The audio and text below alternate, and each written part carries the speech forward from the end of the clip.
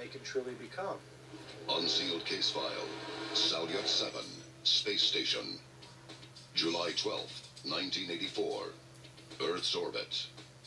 In 1984, Soviet cosmonauts on board the Salyut 7 mission encountered what they could only really describe as immense entities out in space that they likened to angels. Salyut 7 is a Russian space station that is in operation between the years 1982 and 1991. They witnessed a strange orange glow. And of course, the nightmare scenario was that this was a fire of some sort.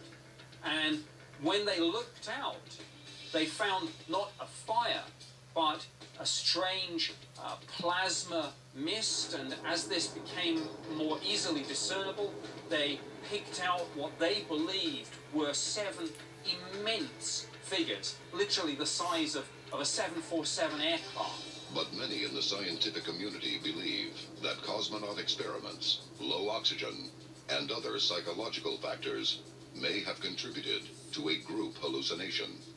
We know that they were conducting medical experiments of some kind. We don't know the details, so it may be that that was a factor.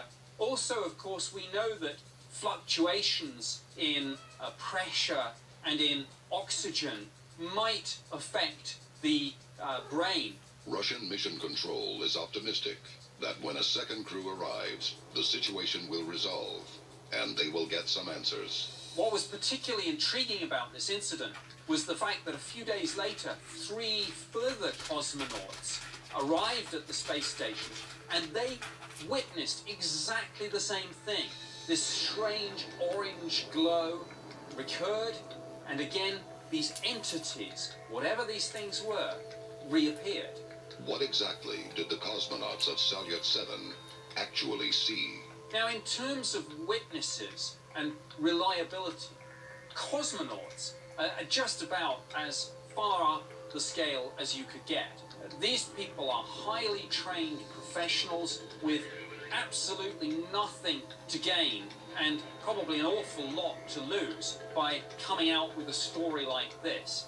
So when these people say that this is what they saw, I mean, this really is, to the best of their recollection, what happened.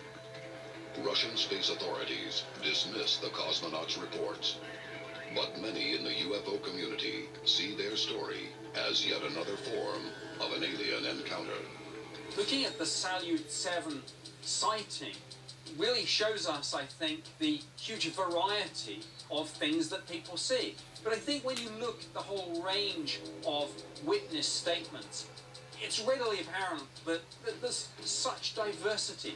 Uh, robot entities, AI probes, uh, aliens, angels, uh, you know, huge structures. Uh, they, they, you know, it poses the question, what might be out there? And I think the answer to that question is not just one other life form, but a whole range of them. There's a whole cosmos out there, and likely it's pretty crowded with a huge variety of life. Many in the UFO community believe that the sheer vastness of the cosmos, combined with the huge variety of eyewitness descriptions of extraterrestrial contact, all point to the existence of advanced alien civilizations. And it's only a matter of time before we discover them.